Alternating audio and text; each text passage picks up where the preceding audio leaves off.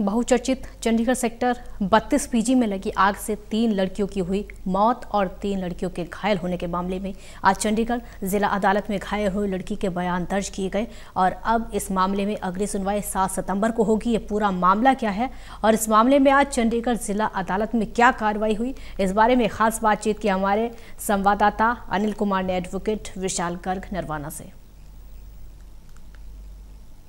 Chandigarh PG में लगी आग से तीन लड़कियों की हुई मौत के मामले में आज चंडीगढ़ जिला अदालत में सुनवाई हुई। सुनवाई के दौरान क्या कार्रवाई हुई, इस समय मेरे साथ हैं एडवोकेट विशाल गर्ग नरवाणा इनसे जानते हैं कि आज अदालत में क्या कार्रवाई हुई है। जी देखिए आज अदालत में दो गवाह पेश हुए थे। एक तो वो लड़की थी जो खुद वहाँ पर रह रही थी और एक वार्डन पेश हुई थी जो कि वहाँ पर एज केयर टेकर काम कर रही थी। जो केयर टेकर जो लेडी थी उसकी तो आज गवाही नहीं हो पाई है कोर्ट में और जो लड़की जो वहाँ पे एज पेइंग गेस्ट रह रही थी और जिसको वहाँ पर चोटें आई जब आग लगी उसने अपनी पूरी गवाही आज कोर्ट में दे दी है। गर्ग साहब ये पूरा मामला क्या है?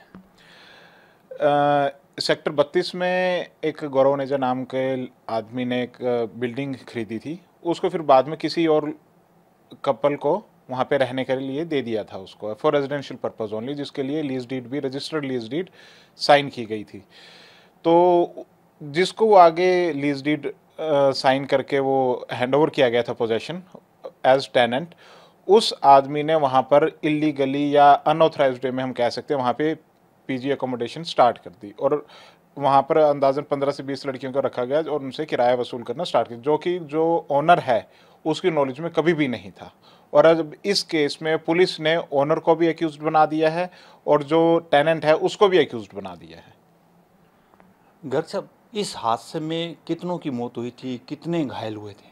इस हादसे में ती, तीन लड़कियों की तो मौत हो गई थी वहीं पर आग लगने से और तीन जो लड़कियाँ थी वो घायल हो गई थी क्योंकि उन्होंने फ़र्स्ट फ्लोर से जंप किया था खुद को बचाने के लिए। गर्ग साहब अब इस मामले की अगली सुनवाई कब है?